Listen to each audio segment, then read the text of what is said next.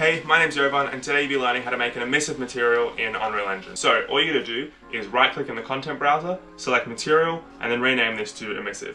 Double click on it to open it and you'll be opened into the material editor. Once in the material editor, create a constant 3 vector node by right clicking and searching for constant 3 vector or just holding down the number 3 on your keyboard and clicking anywhere. Also create a constant node by right clicking and searching for constant or holding down the number 1 on your keyboard and clicking anywhere.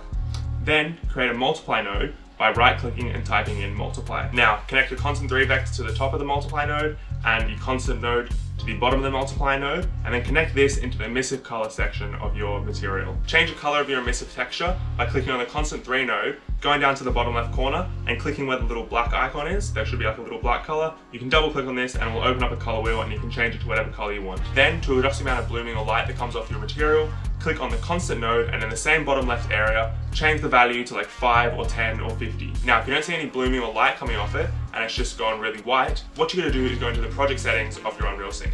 So go to the top left corner of your Unreal page, click Edit, Project Settings, and then type in the words Bloom and just tick it when it comes up. Then when you go back into your Material Editor, you will have your object blooming. And that's it. You can now apply this material to any object that you want in your Unreal scene. Thanks for watching. I hope you learned something new.